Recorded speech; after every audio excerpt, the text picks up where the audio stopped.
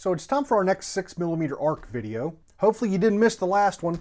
We got our new upper broken in and tested, shot some pretty good groups, pretty successful with our first hand loads. So we're going to keep rolling from there. A uh, couple things. You might notice my barrel sitting here. I've got my upper torn apart and we're going to look at a couple things. And it all boils down to I've had problems measuring my maximum overall length with the various bullets we're testing. Now the Hornady modified case, yeah, for their overall length gauge, wasn't available then and I, I don't know if it's available now. I don't think it is. So a generous viewer named Craig made these for me. I sent him two pieces of fired brass and he made me some modified cases. So we're going to play around with that and that'll probably be like the, the first part of our video here. So a couple other things we've picked up. I got 100 pieces of new brass. We're not going to shoot this stuff yet. We're going to keep it for later because we've still got our brass we recovered from shooting the, the factory ammo. So we're going to keep on shooting that, wear it out. We're going to see how many firings we can get, see if the primer pockets hold up, that sort of stuff. So new brass, that's later. I did finally get my set of Hornady dies. So in the last video, we used the RCBS AR series small base dies, and they did fine. Like, you know, I was pretty happy with those. Nothing to complain about. But this set of Hornady custom grade dies are what we're going to use today. Not much to it. A basic full length resizing die and a basic seating die. Now to go along with this set, I bought a Hornady MicroJust uh, seating micrometer. It's just a little thing that screws on the top and turns that die into a micro adjustable seating die. And I also went ahead and picked up the seating stems that are available. You can see we've got one for the 110 grain A-tip, and then another one for the 108 grain ELD match and AMAX. Now, one thing that annoys me a little bit, as far as I know, maybe it's somewhere on their website, but Hornady doesn't tell you which seating stem is coming in a given set of dies. If that's available, you guys let me know, please, down in the comments, because it drives me bonkers. Luckily, they have started marking the seating stems with the part number. You can see some numbers there. And the one that came in this die set is the 397103. It's a 7103. And one of these stems I bought, the 108 grain ELD match stem, guess what it is? 397103. So I didn't need to buy this. But what kind of sucks about this now is both of the stems I have are for big, heavy VLD style bullets and that ogive shape. So I'm worried a little bit, like whenever we start playing with lighter bullets, like here's a box of bullets I bought to try out. It's the 87 grain uh, VMAX. And we'll be going, you know, even lighter than that, down to, what is it, the 58 grainer and everything in between. So I have to think there are additional uh, Hornady stems for six millimeter, kind of a standard traditional ogive shape, lighter bullet sort of stem. You know what I mean? And I don't have that one. All I have are the ones for the heavy bullets. So that might be something that's going to cause us issues as we go forward. I don't know. We're not going to worry about that too much today because we're not going to shoot the 87 grain VMAX today. What we'll probably do is continue to shoot the 108 grain ELD match, which shot our best group in the last video. So we'll load up some more of those and also want to try out some of these Sierra bullets. These two boxes are the same thing. This is the 90 grain tipped Game King, the Game Changers. These were one of our best performers whenever we were testing the 6mm WOA cartridge, and I'm hoping they're going to shoot well in the ARC as well. With a 90 grain bullet, we should be able to, you know, get those velocities up and get these hunting bullets expanding well. So we'll see where it takes us. You know, we're going to test the 90 grain. Well, I guess I should also show you the other bullet. This is the 100 grain game changer. So a little bit heavier. But we're going to test the 90s and the 100s. We're going to try and get them shooting well. We're going to try and get them up as high velocity as we can and, you know, maintain our good accuracy. And then we'll be doing some gel testing eventually with one of those two bullets or, you know, it could all, we also have the 103 grain ELDX. So it's, you know, it's a, it's a contender as well. But that, that's the plan is to kind of go on a little bit of a, a search for a hunting bullet, a deer bullet, I guess I should say. So we're going to get started with that a little bit today. We'll probably shoot just a couple of the 90s and a couple of the hundreds, and just kind of see what happens. But before we get to any of that reloading stuff, let's go up close here and I'll try and show you the problems I've been having measuring maximum overall length and we'll dive into that a little bit. So the way I normally measure overall length, maximum overall length in a gun is I take a piece of brass, like lightly resize it, don't bump the shoulder too much, and then I'll take a Dremel tool and cut a slit down the neck. And then we can, you know, slip a bullet in there and then carefully put it in the gun, let the rifling seat the bullet, and then carefully remove it and then take our measurements. With this gun, I could not get consistent readings using that method. And that's the first time I've run into that. So that's why I sent off these two fired pieces of brass to Craig. He modified them for the Hornady overall length gauge. Let's go ahead and screw one of these guys on there. And I think I've come up with a reason why this might be causing difficulties because once I got this back, I was playing around with it and, you know, sliding it up in there. And the first time I did, I couldn't get the, uh, well, actually right there. Did you see how hard that went in there? I'm gonna have to, okay, so this is me from the future and I'm gonna be chopping out a portion of this video because I ran into more problems and basically just chased my tail for a couple hours and I don't want to put you guys through 30 minutes of video where nothing is accomplished. So the the two modified or the two cases I sent off to Craig that he drilled and tapped for me, I sent him just plain old fired brass. I hadn't done anything to them. I thought that would be right. I don't have a ton of experience with the, the Hornady modified case. At one point in the past, I did try and make uh, modify some cases on my own with the bought the right drill bit and tap and stuff and could never get it to work right for me just trying to do it by hand in a vise. So I just didn't know any better. So I, I sent him plain fired brass. And maybe in a lot of cartridges that would be fine. But with this one, you just saw that going into the chamber very, very difficult. Well, right around the base of the case, it was rubbing on the chamber. So definitely don't want that. We want this to go in nice and smooth and we want the shoulder to be the primary point of contact.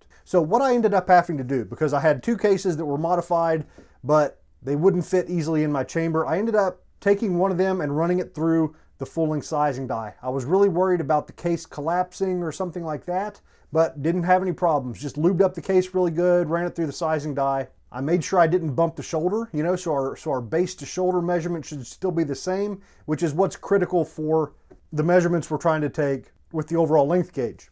Now the next problem that caused was after it went through the sizing die, now the, the neck was sized down. So I used a, a six millimeter expanding mandrel, a 243 expanding mandrel to open that neck back up.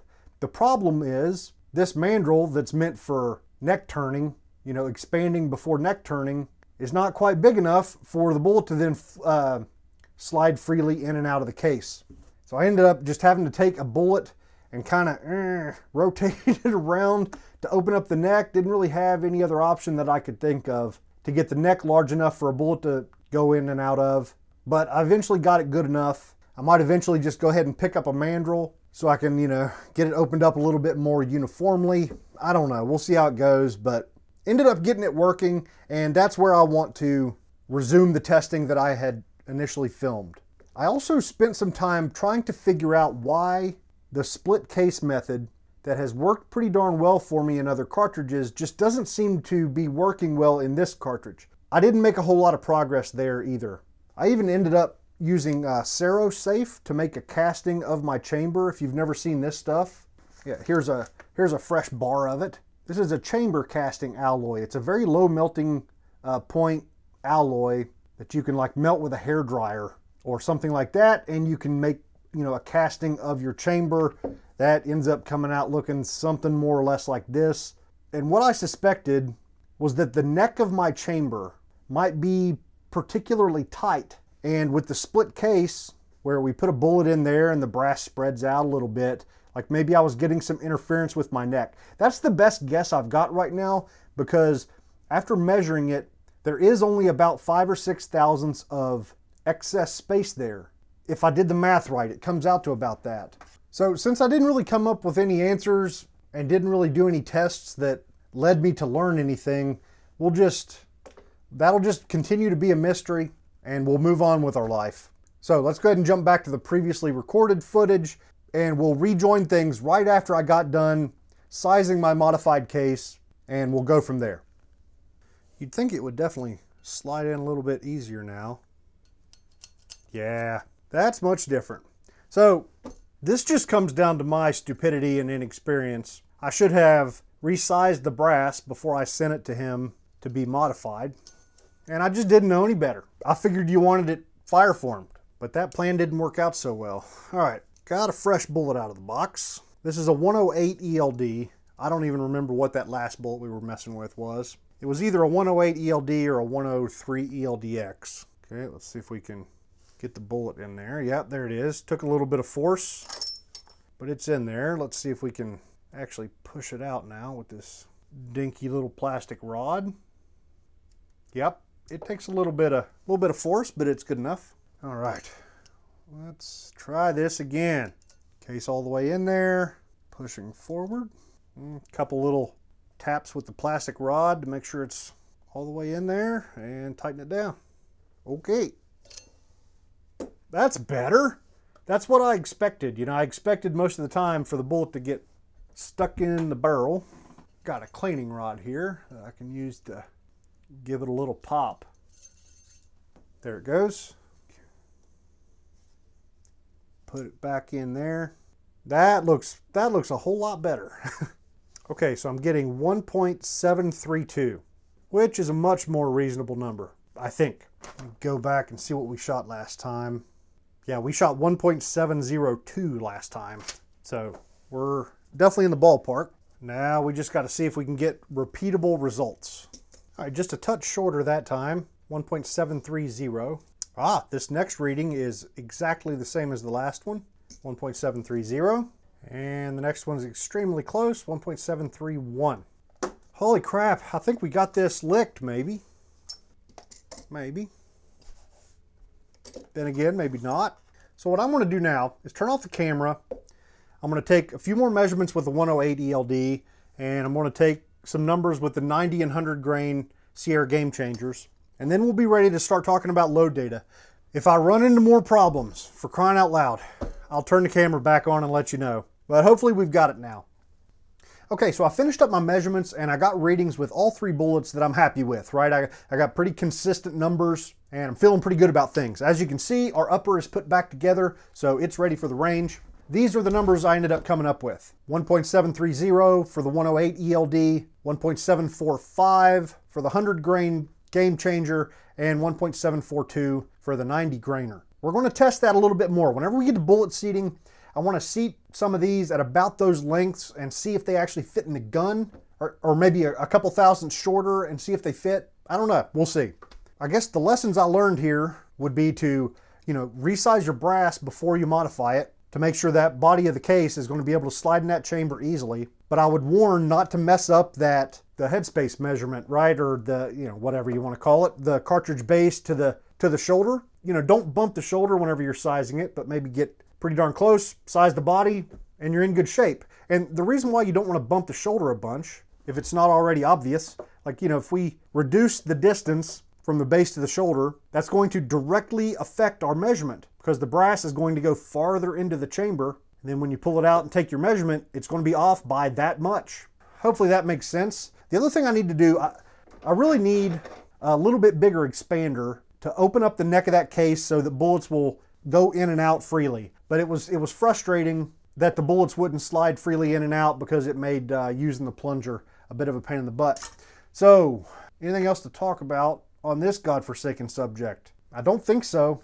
It probably would have been faster and much easier to just slowly seat some bullets deeper and deeper and try them in the gun and kind of, you know, just determine it that way than going through all of the nonsense we've just been through, but whatever. All right, let's get moving. It's time to talk about the loads I want to shoot today.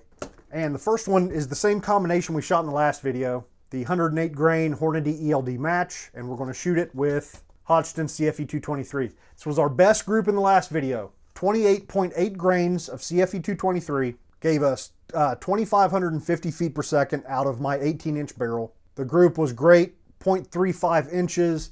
The velocity statistics were amazing. We had a 2.5 standard deviation and an extreme spread of 6 feet per second. So the first load is I want to reload that exact combination and exact charge weight and try to duplicate those results. So with CFE 223, we're going to start at 28.8 grains. And then I want to work my way up from there in 3 tenths of a grain increments. Now the load data that Hornady has released shows a max charge of 29.1 on their gas gun data. They've also released data for bolt action rifles, and it shows a max of 30.6. So that's 1.5 grains higher. We talked about it in the last video, right? About the 52,000 PSI SAAMI spec for this cartridge and, and the possible problems you can run into if you exceed pressure, the biggest one being the bolt. I'm going to ignore all of that because it's more fun. I'm going to go ahead and exceed the gas gun maximum and go up into the uh, bolt action territory of the data. So we'll shoot five, five groups with this combination and we'll go all the way up to 30.0 grains. That's still 0.6 grains below the maximum they show for the bolt action rifles. And we'll just keep an eye on things. Maybe our brass will start getting beat up. Maybe our bolt will shear a lug. Maybe I'll blow my face off. I don't know. That's why we're here. That's the fun part. If we knew what would happen, this would be pretty boring. The next powder I want to shoot is IMR 8208 XBR.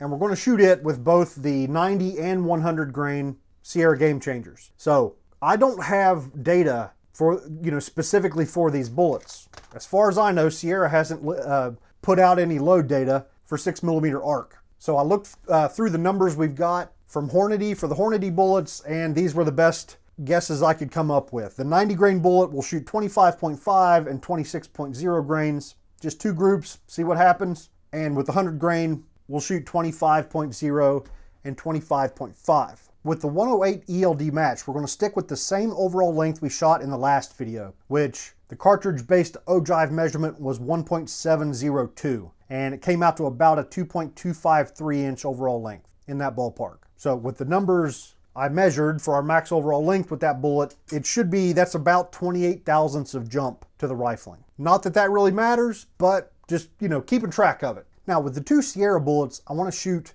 a 1.725 inch cartridge based ogive. That should give us an overall length of about 2.290 and be a little bit over 20 thousandths off the lands. To be honest, I wasn't really paying that close attention to total, total overall length. So here on the screen, I'm showing you an overall length, hopefully. And that's what I measured once we got to bullet seating.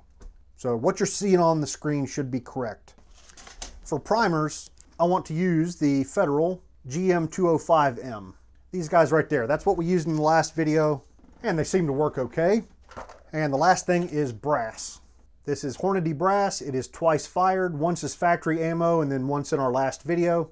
So this will be the third firing on this brass. You might or might not be able to see, I did anneal these went ahead and, yeah, went ahead and annealed them. And they've also been, you know, tumbled, cleaned, removed the primers, that sort of stuff. So they're ready for resizing. I do use the salt bath annealing method.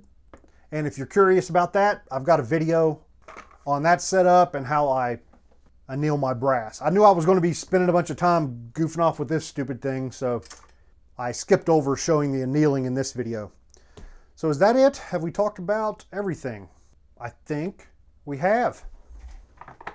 We're actually ready to start loading. One thing I forgot to mention, in the last video we only shot 40 shots, but in this video I'm going to be shooting 45. So I'm going to have five pieces of, of uh, once fired brass in this operation as well. So that's a little bit of a bummer. I'll make it the last group. So our yeah, the last group we shoot will be once fired brass that has not been annealed. It is what it is, right? Shouldn't be a big deal. So I'm going to use some Hornady one-shot lube. In the last video, somebody told me I should remove the, eh, the little nozzle hose thingy. Let's give this a shot. Yeah, that's not bad. Don't really want a super narrow stream of lube anyway, do I? Okay. The other thing I want to do, I'm running low on factory ammo. So I need some sighters and stuff like that. So the other 32 pieces of once fired brass I've got, I'm to go ahead and load them up. I actually might load up the, the same load as our, our first CFE 223 group with 28.8 grains. That's exactly what I'll do. Okay, so the other thing I want to do while those dry is tear apart my new Hornady dies and wipe out the factory oil and junk, and then I'm to shoot a little one shot on them as well. See if I can get the get the decapping rod out of this guy. Oh yeah. Hornady dies usually aren't too oily, but man, RCBS really oils them up heavily. And I guess we could go ahead and get our micro just seating micrometer out of the package. To install these, all you got to do is remove this guy, which comes with the standard die, and replace it with this. Not much to it. And then you've got a nice adjustment on your die. And I found these to be very accurate. If you need to move 10 thousandths, you dial up, you know, 10 thousandths and you're right on the money. So it's a really nice upgrade for these for these Hornady dies. A little, eh, little, little shot down in there. And we're ready to go. The one shot dries pretty quick and it doesn't leave them too greasy. So let's go ahead and get over to the press. So you might notice I've switched over to the, the Lee Breechlock Challenger press. I've been using the Hornady Lock and Load Classic for a little, little while, but I was getting super frustrated with the lock and load bushing system. So here we are. Now, you know, the Lee has a very similar mm, sort of bushing system. There it is. There's our bushing. And you'll notice that the bushing has got a little notch right there. And on the press, you'll see this plunger up here on the top. Well, when the Lee bushing goes in, you push down the plunger and turn it, and it locks into place. So your bushing's not going to spin on you like the Hornady lock and load does. So hopefully this will be a little bit less frustrating. In the last video with the RCBS sizing die, we tested to see how much shoulder bump we got with the die all the way down. And with the RCBS die, it bumped our shoulder about 7 thousandths. So I want to do the same thing here with the Hornady die. There we go. That's about it right there. Our shell holder is making solid contact with the bottom of the die. So we'll start out with the with the brass I'm going to use for sighters while we mess around with the die. Let's see how much shoulder bump we get, which I guess we should measure it beforehand. The number I had written down from the last video was 1.191 and that is exactly what we've got again today. So let's go ahead and size this guy all the way up in there and then down. I did it again. I forgot to tighten up my stupid... Uh, ah. Oh, that makes a god-awful noise. It's designed to do that. I think they call it the uh, zip. Not, not so much in this situation, but in a situation where your decapping pin hits something solid, the whole thing's supposed to be able to like, uh, I don't know, slide upward instead of breaking your decapping pin. I think that's the, the idea. All right, let's see if we can get it out now. There it is. That's good. Now we need to reset the depth. Yep, that's pretty close. Okay, hopefully that's tight enough. Let's see what it did to that piece of brass. Looks like it's come out to 1.186, which is 5 thousandths of shoulder bump. Now this is not really a fair test because this press is not as powerful as the Hornady, and the Hornady is also a very heavy cam over, which at the very end of the stroke, the mechanism cams over and the ram actually drops just a touch at that last little second.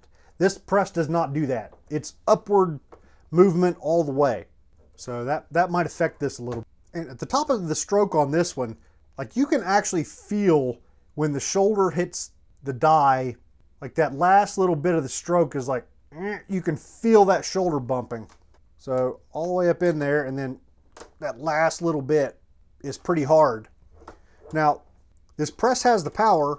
It doesn't take a ton of effort, but you just need to make sure that you get the, the handle all the way down to that tough part in the bottom of the stroke and apply consistent pressure.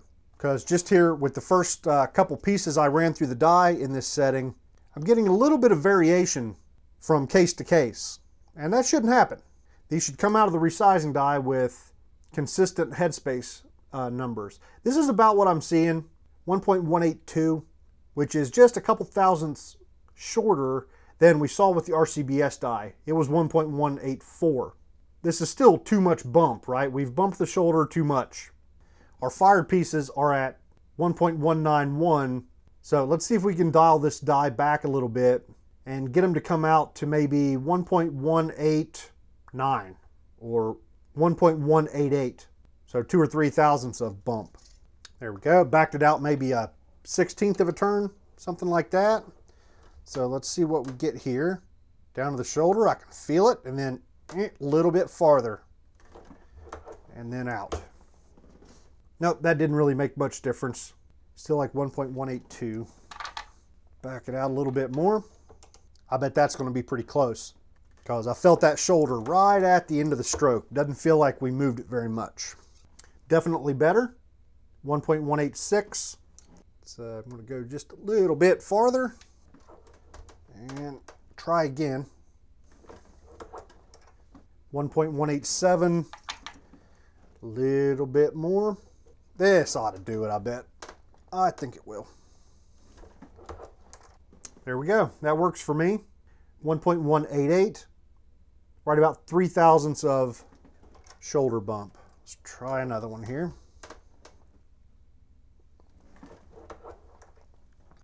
That one went a little bit farther. 1.187. Yeah, the next one's 1.187 as well. I'm to call that good enough. Eh, no, I'm not. I'm to back it out. We might as well get it right.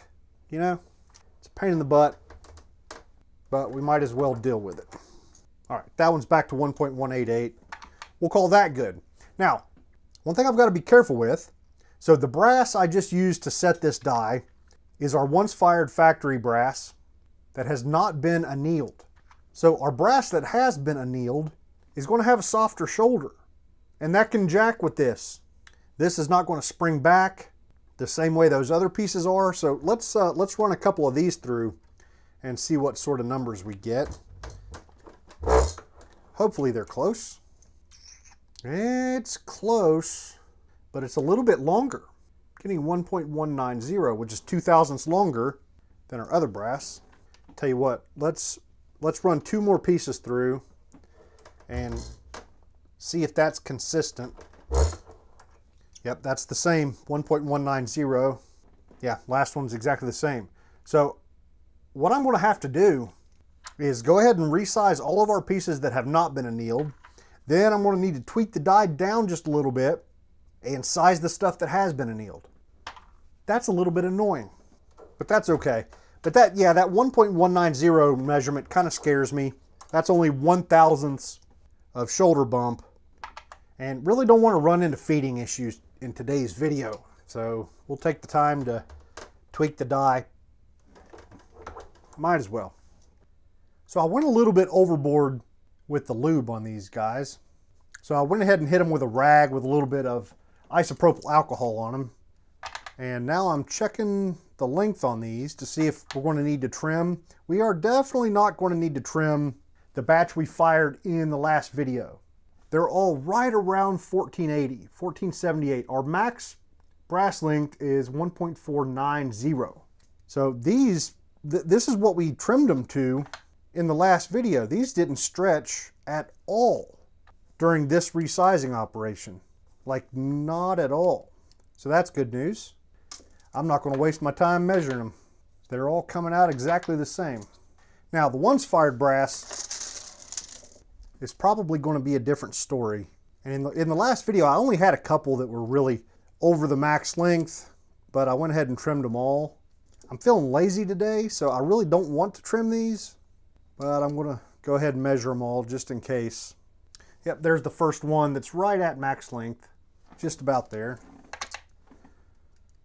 All right, this guy right here is our longest piece, and it is one thousandth of an inch over maximum.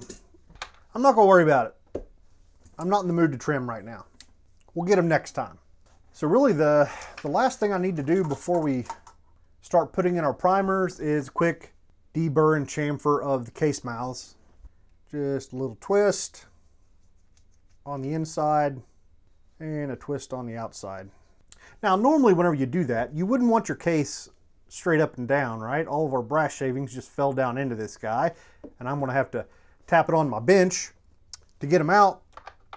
So that was just for the camera. Normally you want to have them tilted down towards your bench or towards the floor so you don't have to worry about that. Now at the end of the last video, we already checked the primer pockets in this brass and they're still nice and tight. I'm really hoping our primer pocket life with this cartridge is going to be good and so far so good after two firings.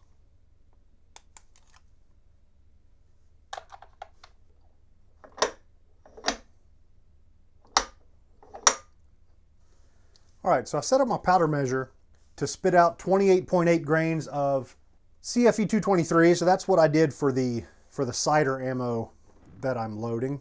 But for our test loads, I'm going to be hand weighing each one. And I need my trickler. There it is. All right, these first five should be pretty easy since my powder measure is set for 28.8.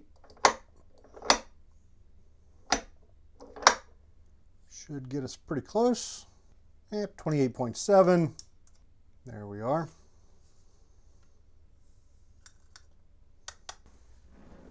Okay, so it is bullet seating time. Pull out the sizing die and install our seating die. So what we do is we take a case, put it in there and run it all the way up. Then we take the die and screw it down until we feel it touch. There it is right there. Then you back it off at least one full turn. And there we are. So what I usually do is go one full turn and then keep going until I can read the scale easily, which you may or may not be able to see, whatever, but the scale's right there. So to start out, I want to mess around with the, the sighters I'm loading, and I want to test out those maximum overall lengths that we determined earlier in the video. And I need my bullet comparator. Okay, so according to the measurements, we should hit the lands at 1.730. So let's start getting this guy dialed in. I've got the adjustment backed all the way out, so should be able to go up into the die with our case. Yep, definitely not touching anything. Ooh, you know what we forgot to do is to double check our seating stem. So I'm going to pull off the adjuster and I'm going to use a big long big long Allen wrench to poke the seating stem out the top. There it is. Now, this seating stem is specifically designed for this exact bullet. So if we don't have an excellent fit, I won't be sure what to think. All right, focus. There it is. All right, bullet down in there. Oh, feels good. Feels really good. Yeah, fits like a glove. So the question is, how does this fit our Sierra bullets? This is the 90 grainer. And both the 90 and the 100 grainers have the same exact ogive. The, the only difference between the bullets is that the 100 is a little bit longer. So if it fits one, it should fit both. Yeah, that is less perfect. Yep, got some wobbliness there. So let me grab the only other seating stem we've got. Hopefully it's a good fit. Like if we end up having to use the uh, that one there. It's not the worst fit in the world. Like, I think we'll probably be okay. Okay, so this one is for the 110 grain A-tip. Give it a shot. Oh yeah, that's much better. That's actually really nice. Here's a 100 grainer. Yep, same way. Yeah, that feels really good. Feels really good. That is excellent news. So we'll start off with 108 grain bullets and we'll finish those up. And then I'll switch stems for the for the Sierras. So, all right, back to where we were. To run this 108 up into here, we should be able to screw this down until we feel something touch. There it is right there. So seating stem came into contact with our bullet ogive. And let's go down uh, a little over 100 thousandths. So let's go ahead and seat that a little bit and take a measurement. Right now we're at 1.925. So we need to go down 195 thousandths. So there's 50, 100, 150, 195. All right, so that should be pretty close to 1.730.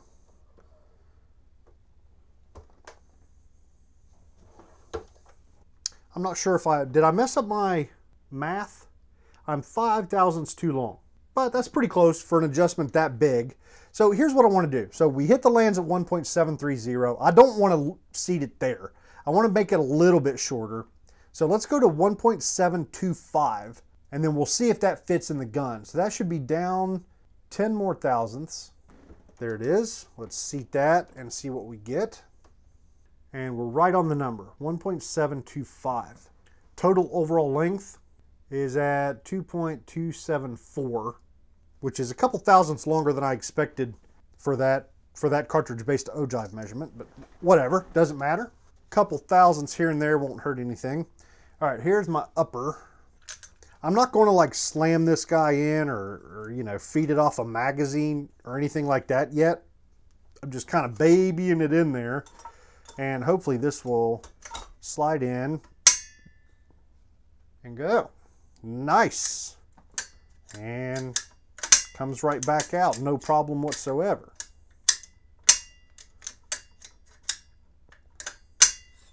Okay, that's good. Now if I back out 10 thousandths, so let's go, oop, tighten down my seating stem adjuster thingy. All right, there we go. So there's 10 thousandths out. Now if we seat one at this setting, it should be 5 thousandths into the lands. So I would expect it to not fit. So let's try that. And it goes right in. Oh God.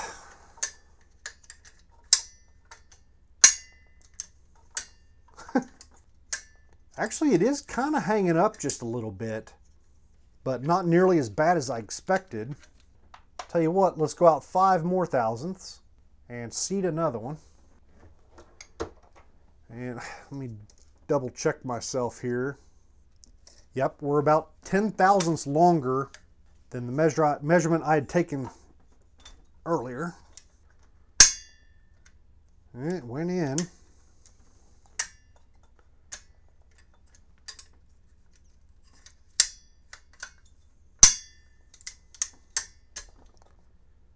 I can feel like I can feel some resistance. I, I, guess it's just, you know, the difference between pushing on the bullet with this guy with the little plastic rod.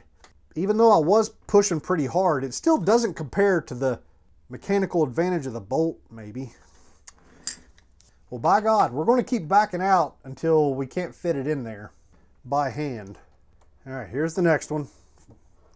Five more thousandths longer. All right, that one was really tough to get in there. Well, I, not really tough, but pretty tough. Oh, come on. Come on. All right, so I got it out of there without resorting to any tools or heavy objects. So that shows 1.747. 1.730 was the number I had written down earlier that I had that I thought was the spot where we'd touch the lands.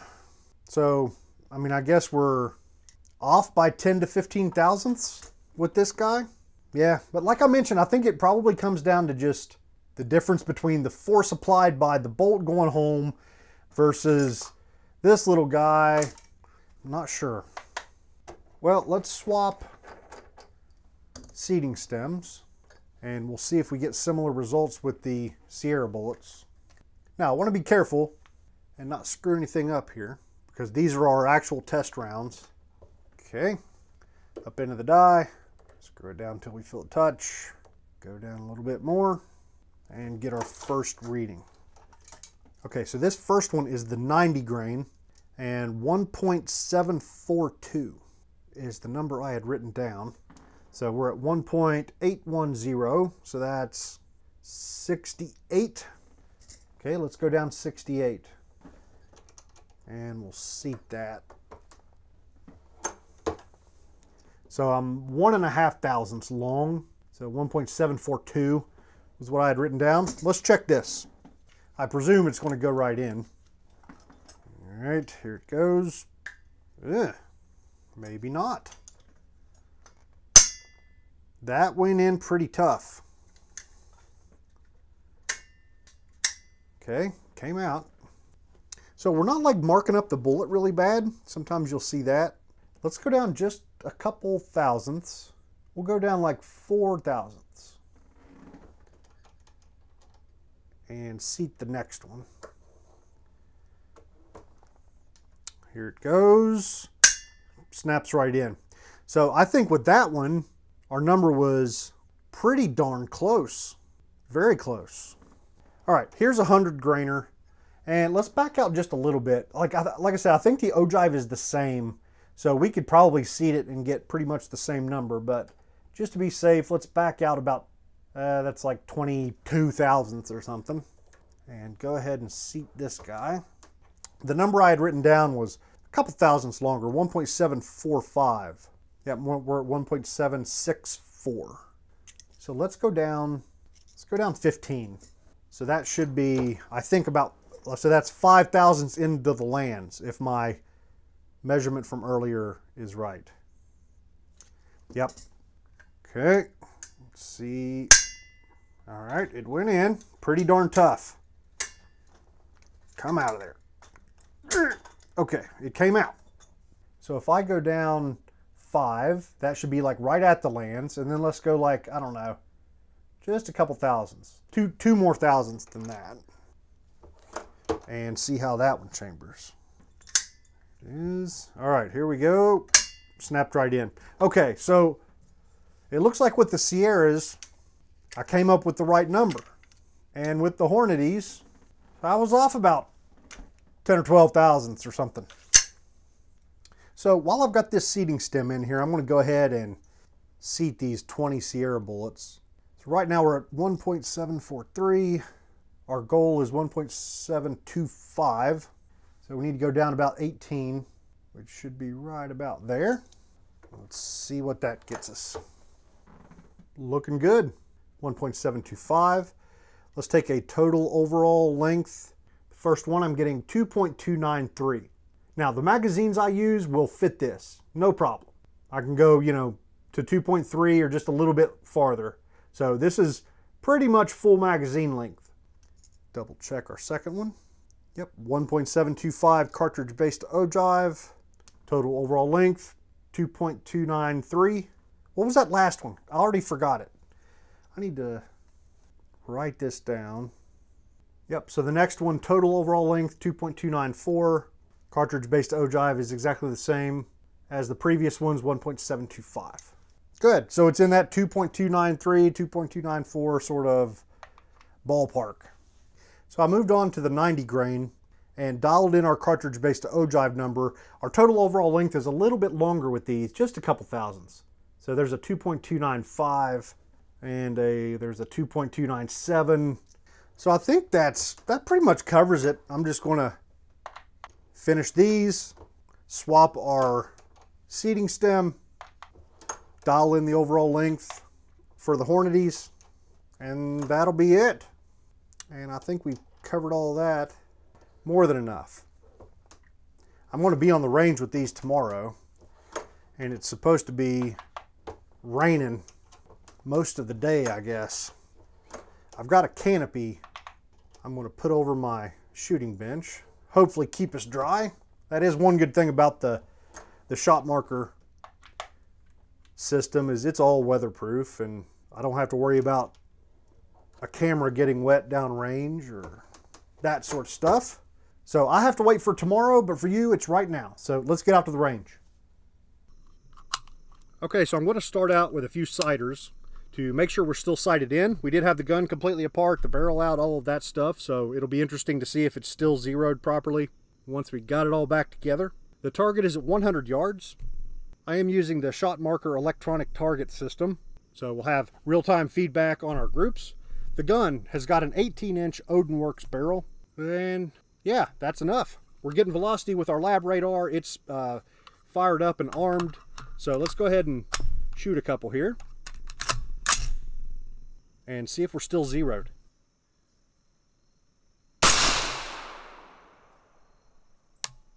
Nice, that's pretty close. Uh, looks like I've got a little technical difficulties going on here with the shot marker. Bottom left sensor. Well, let's shoot one more and then I'll run down there and hopefully fix it.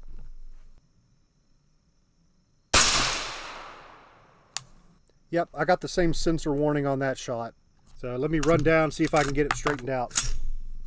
Okay, so I went down there and the cable was connected, but I don't know. I removed them and put them back in a couple times, maybe clean up the contacts a little bit. If it's still not working, I'll go in and get a, a different audio cable. They use uh, audio cables to connect the sensors. Whatever, let's see what happens.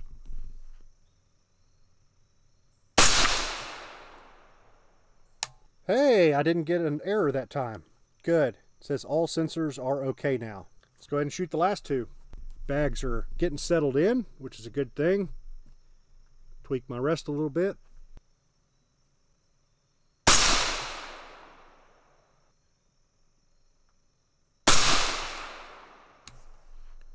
Oh, baby. I'll take that for sighters that were powder charges measured, you know, with a powder measure. That is really good. So we had our cold bore shot. Eh, why is it saying that the stupid sensor... Okay, yep, last three shots were good. But it's funny that even with that one sensor not working, th this is exactly the way it looks down at the target. So it was still able to uh, show the shots correctly. So that's good. So those those are 0.68 inches. Let's hide number one just for the heck of it. Oh, yeah. The next four went into 0.24 inches. I like this start. Check the check the velocity statistics.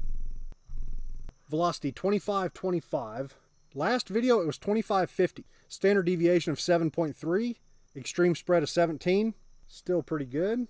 Was looking to see if the the first shot's velocity was maybe out and it wasn't. It was right in the group with all of the others.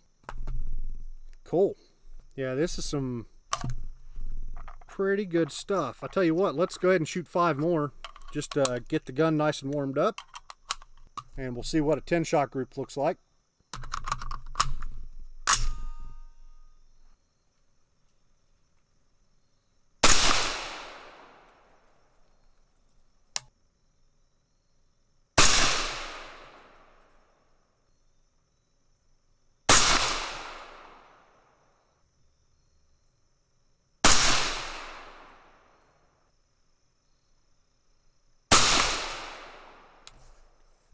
Holy crap.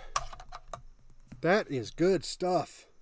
All right, I think we're warmed up. I think, uh, yeah, I think we're good. Let's let the barrel cool down for a few minutes, and then we'll get on to shooting, shooting the real stuff. Okay, so it's time to move on to the real stuff. Our first load is the exact same load we just shot with the sighters. This is 28.8 grains of CFE 223 with 108 grain ELD match. The only difference between these and the sighters we just shot are these were, you know, hand weighed. Each one was verified, where the others were thrown. So let's see what happens. My hopes are very high.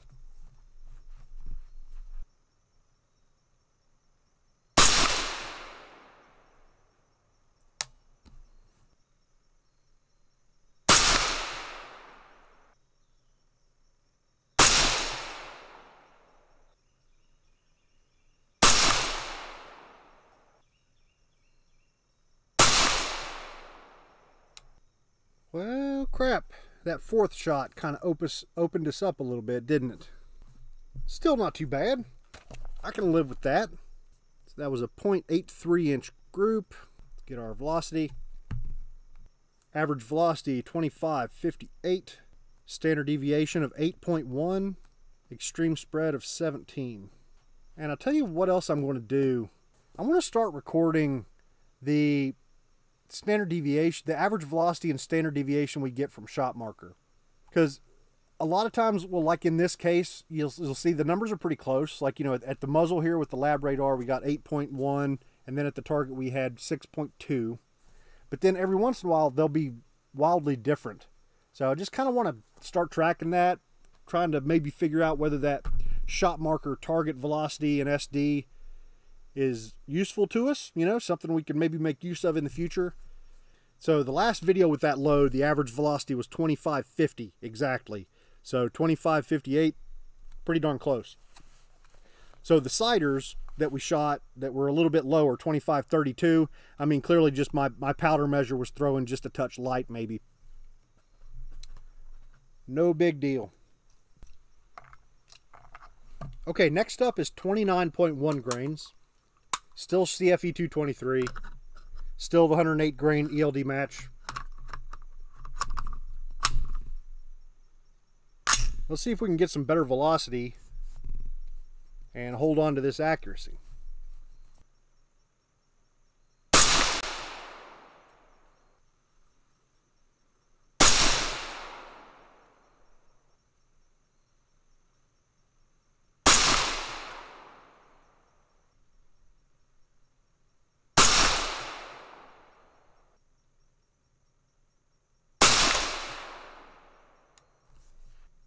All right, that wasn't too bad. Is that 0.8 inches? So 0.80. Let's see what our velocities look like. Average is 2582 with a 9.6 standard deviation, extreme spread of 21. Target velocity was 2384 with a 9.0 down there. Okay, yeah, you know, that's not bad. I can live with that. Okay, moving right along. Next up is 29.4 grains of CFE 223 with the 108 grain ELD. So we're getting beyond that their maximum load for gas guns. So going to have to going to have to start watching the brass pretty close. Make sure we don't get ourselves into trouble. Hopefully this accuracy holds together.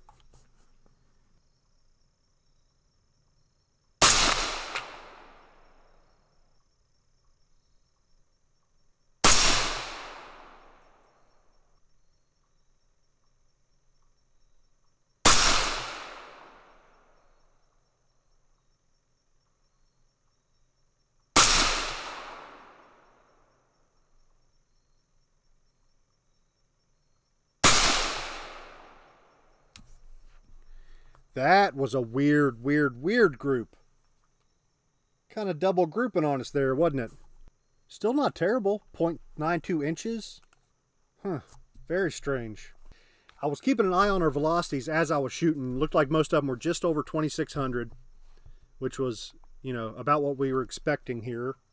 Yep, the average was 2612, standard deviation of 10.9, extreme spread of 27 and target velocity was exactly 200 feet per second less 2412 and 11.3 down there. Good.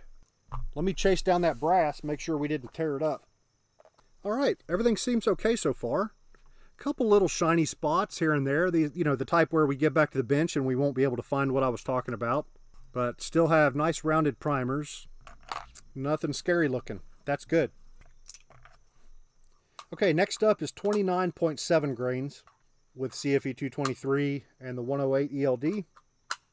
I was just talking with some folks on Twitch watching this live that with that weird double group from the last group, it'll be interesting to see if this group kind of picks one or the one of the two and maybe starts grouping again, either high or low. I don't know. Only one way to find out.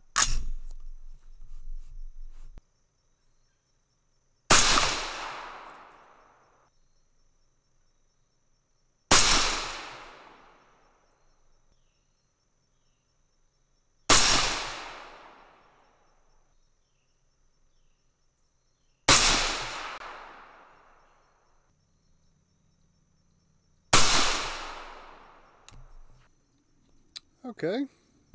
Hmm. Well, still not terrible. 0.90 inches. Average velocity 2643. Standard deviation 9.2. Extreme spread 22. Man, these velocity numbers, all of our standard deviations today have been between 8.1 and 10.9. So right around 10-ish. Pretty consistent performance from CFE 223, which is weird. Let's see. what the brass looks like. It's not too bad. So, you know, more shiny spots like last time, but no burrs or anything being raised up. Nothing serious that I can see. Looks about the same as the last load. I can live with that. I mean, so, you know, these, these groups certainly aren't bad. Everything's been under an inch so far. But I can't help but wonder if that... Well, you know, back to the last video, we were shooting this same combination, CFE 223 with this bullet. And the groups were kind of crappy, crappy, crappy. And then once we got to 28.8 grains, we shot our best group of the day. So it looks like maybe that 28.8 to 29.1 range is going to be a good place to hang out in, maybe. I don't know. We'll see. Maybe this next group will be the best of this day. Okay, so we've got one more group to go with the 108 grain Hornady ELD match. 30.0 grains with CFE 223. Let's see what happens.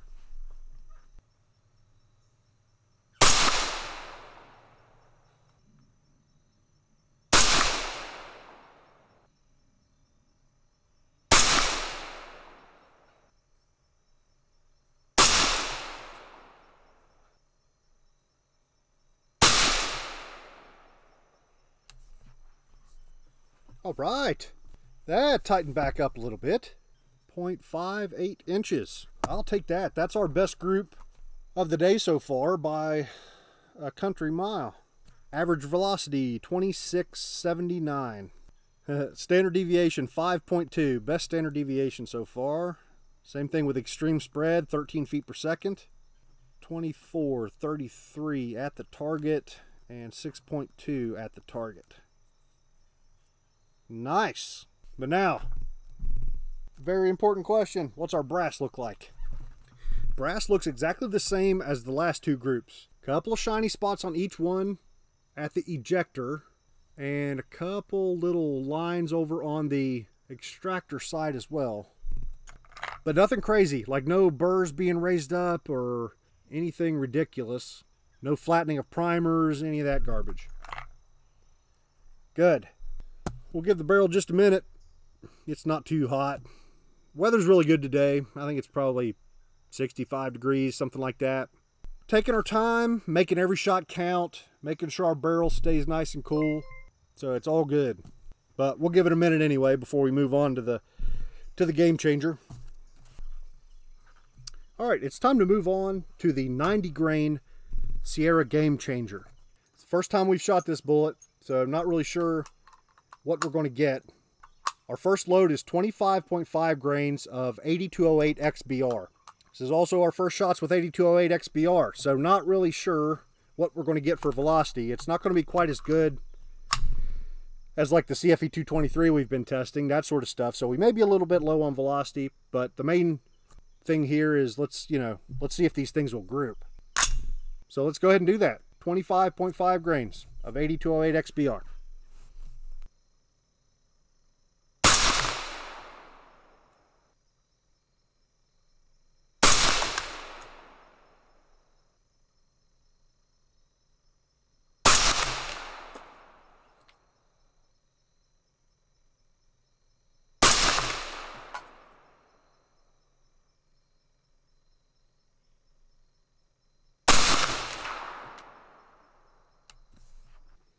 All right, that's pretty good start. Well, that was a really soft shooter. Like uh, just feeling the way the action was running and all that stuff, it was shooting a whole lot smoother than our hotter loads with CFE 223. Velocity was pretty darn low, but that's okay. We were expecting that, right? We were prepared for that. It's a 0.64 inch group. Average velocity 25, 24. So we got an 18 grain lighter bullet and we're basically shooting the same velocities we were shooting with uh, yeah, with the 108. So pretty weak. Standard deviation 9.9, extreme spread 26. Down at the target, it was 23.11 and 6.6. Let's track down the brass. Okay, no surprise at those velocity levels. Brass looks great. Nothing to worry about at all. Okay, our next group, we're staying with the 90 grain tipped Game King. And we're staying with 8208 XBR. We're bumping up a half a grain to a 26.0. See how much of a velocity bump we get.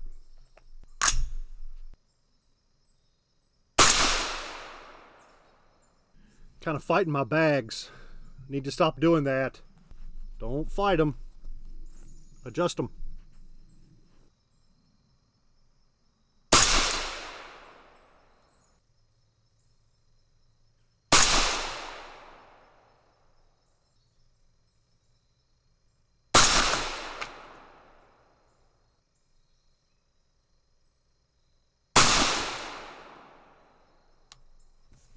Good deal. 0.63 inches. Well, talk about consistency. Our last group was 0.64. Average velocity 2568. Standard deviation 5.4. Extreme spread 13. Good deal. I tell you what, I'm pretty happy with that as a first outing with the 90 grain Sierra Game Changer. And if you remember, this is the bullet that the uh, 6mm WOA really shot well. So I'm already kind of predisposed to like to like this bullet. And hopefully, you know, with a 90 grain bullet, we go to something like, you know, well, CFE 223 or, uh, you know, a slower powder where we can get more velocity. That could make for a, a really nice hunting setup. I mean, I have to assume with a 90 grain bullet, we could probably get in the 2800 range, something like that, maybe more, I don't know. But 8208 XBR definitely isn't going to be the powder to get us there. Kind of knew that going in, but just wanted a a, a, powder that I really like, that I have a high confidence in, that I felt like would be able to shoot some good groups as long as the bullet and the gun, you know, seem to pair okay. And that seems to be the case. Couldn't be happier here with a couple of 0.6 something inch groups. All right, let me run down that brass and then we'll move on to the 100 grainer. Yep, and that brass all looks great as well, which I'd be shocked if it didn't at those velocities. Okay, moving right along. Next up is the 100 grain tipped Game King. We're sticking with 8208 XBR and dropping our charge weights just a little bit. First up is 25.0 grains. See what happens.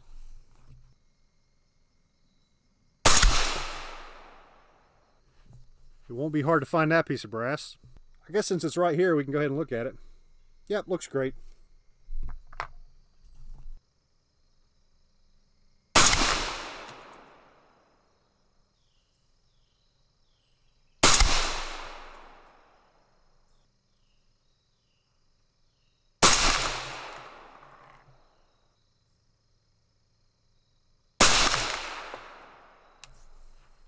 Well, those kind of strung a little bit weird. And that broke our streak of nothing but sub-MOA groups today. That sucks, man. Poopy doopy. 1.10 inches. Average velocity 2468. Standard deviation 10.0. Extreme spread 26. This was probably a pretty dumb powder choice for this video now that I really think about it because like we're not going to be shooting these sorts of velocities. We're going to be shooting much higher velocities in, in a hunting application, right? If we're trying to work up a hunting load. I don't know. We'll see how this next group shoots, but I'm left wondering. It's like, okay, they shoot crappy at this velocity, but if we load them up, would it tighten up? You never know. At least, at least the 90 grainer shot really well. There's always that. Which, to be honest, we're probably going to end up using the 90 grainers anyway, just for that additional velocity that we can get with the lighter bullet. So, hmm. Okay, one more group to go. This is still the 100 grain Sierra Game Changer. And this is 25.5 grains of 8208 XBR. Half grain more than the last load. Hopefully this group tightens up.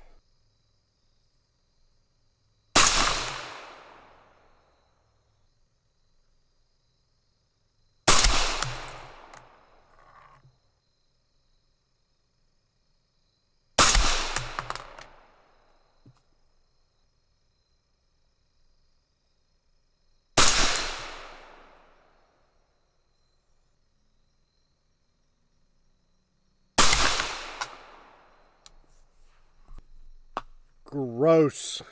Gross, gross, gross. 1.23 inches. Even worse than the last one. Average velocity 2503. 5.8 standard deviation. Extreme spread of 15. Now it's important that we not let this disappointing finish with the 100 grain game changer distract us from the fact that the 108 ELD match shot freaking amazing. The 90 grain game changer shot freaking amazing. And we've got a whole lot to be really, really happy about right now. So, extremely successful range trip. All right, let's get back to the bench. Okay, let's have a quick look at the brass. And the last four rows are the ones we shot with 8208 XBR. I've looked at them really closely. There's nothing at all to see there. So the 8208 XBR brass is fine. Nothing really going on there. Now, if you'll remember, the last row I had stolen from our once fired box. So I'm going to move those over right now before I forget. Or I guess that would be twice fired. So this is my sighter box, plus it's got those. These have not been trimmed. They've never been annealed. But now these have been fired three times and they've been annealed once before this last loading. So I'll probably be annealing them every every firing now and we'll just see what sort of brass life we get. Let me see if I can find some on here that are particularly interesting.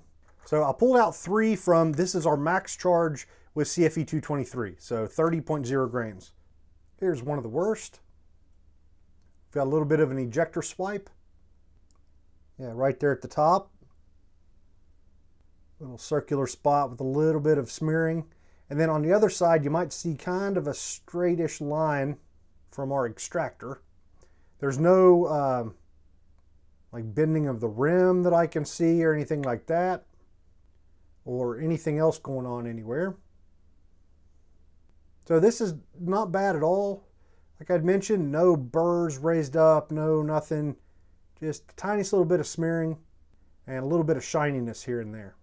Our primer looks good, nice rounded edges. So nothing I'm particularly freaked out about. These other two were similar to that one. Let me see if I can orient the ejector spots at the top. Yep, so that's not too bad, and that's the worst of it at 30 grains of CFE 223. Pretty happy with that. So I'm very happy with the results of this video. We shot a bunch of great groups, and that's really, like, that's kind of what's most important to me right now. We're only a couple hundred rounds into this gun, and at this point I already have, like, total confidence in our Odinworks barrel. You know, the ability for it to shoot a group. It's shooting good groups with multiple bullets. It's shooting good groups across a wide range of bullet weights, a wide range of velocities. So if nothing else, that's really what these first two videos have given me. Like the gun's running well, it's functioning well, it's shooting pretty decent with just about everything we're throwing at it. So I think now it's probably time to maybe get serious about something. And I think that might be this 90 grain Sierra Game Changer. I'm doing another project at the same time, and that is i want to work up a deer load for my 6.5 Grendel and I'm going to hunt with it this year. But I'm thinking I might just go ahead and try and work one up here reasonably quick. I've got like three weeks before our season opens. So let's see where we can get with this 90 grain game changer. By then, maybe I can shoot a deer with this gun this year. Here in Kentucky, we're allowed four deer, and I definitely want to get at least two just to have the meat in the freezer. So maybe we can spread the love and hunt with both guns. But where we need to get to is a lot more velocity. We were at around 2,550 feet per second with the 90 grain uh, game changer and 8208 XBR. And I'm thinking we should be able to get much, much better numbers than that with a smart powder selection. So I kind of pulled out a variety of powders that I'm thinking might really get that velocity up. You know, we've got load data, of course, for CFE 223 that we've been shooting with the 108 grain ELD match. There's also Hornady Lever Evolution. So CFE 223 and Lever Evolution are really close to one another, at least in the 6.5 Grendel. The load data is nearly interchangeable, and with our load data here with the 6 ARC, the numbers are really close. So we might end up trying lever evolution, but I'd really have to like to have something that's a little less sensitive to temperature. And I can't help but wonder whether uh, Sta-Ball 6.5, Winchester Sta-Ball 6.5, whether it might be a decent choice. Like it's it's a good bit slower burning than even CFE 223 and lever, lever evolution, but I'm thinking we might be able to just cram enough of it into the case to get up to the, some pretty impressive velocities. Maybe not. We might run out of case capacity. So, you know, with the slower options, that's kind of the, the deal. Like, we might just not have the case capacity, and I really don't want to run like super compressed loads or something for a hunting load. I don't mind, you know, going compressed a little bit, but nothing ridiculous. couple more here up on the top. H4350, Reloader 16, and IMR 4451. In the comment section of our last video, Jim, who's always good for some excellent advice, mentioned that he was having good luck with those powders with heavy bullets in 6 ARC. So it might not be ideal for this for this 90, you know, which is on the lighter side a little bit, but it might be worth trying it. You know, maybe the next video we just explore some of these different powders and see if any of them are able to get us velocities. And another one, Vihtavuori N540. That powder, it's one of the Vihtavuori high energy powders. Yeah, they're 500 series or high energy. Man, this thing, it packs a lot of punch per grain. Plus, it is a very fine cut extruded powder. You can really get quite a bit of it into a, into a case. So I have no doubt we've probably got plenty of case capacity to work with N540. So we might go with that. I would also say this is the most likely to get us into pressure problems. so we're going to have to maybe be a little bit careful with that guy. But that, you know, that's kind of what I'm thinking for the next video. Let's start narrowing down a hunting load and let's kill us a deer here in a few weeks with the six ARC. So I think that's where we'll end this one, folks. Thanks for joining me, and I'll see you next time.